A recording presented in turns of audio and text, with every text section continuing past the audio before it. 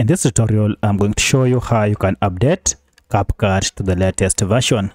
So if you want to get the latest features that comes with CapCut, the only thing you need to do is to go ahead and update your app. Now, by updating your app, you'll also be able to fix most of the issues or most of the bugs that comes with the old version of CapCut. To do so, it is quite simple. If you are using an Android smartphone, then you can just head over to Google Play Store and you'll be able to update your app.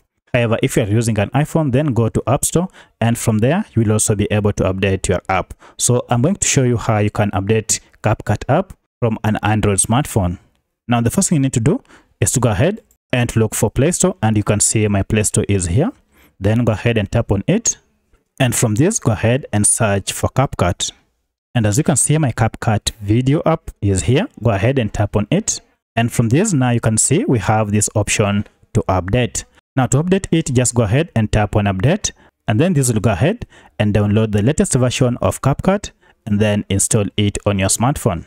And once the installation is done, now you'll see we have the open option here. Now from here now you'll have the latest version of CapCut video editor. You can now go ahead and proceed. So if on yours it reads open, it means you already have an updated version of CapCut video editor.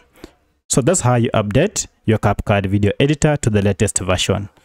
If you have any other question, kindly let me know in the comment section. Otherwise, if this video is helpful to you, kindly hit the like button and subscribe to this channel to support me. Thanks for watching and let's meet in the next video.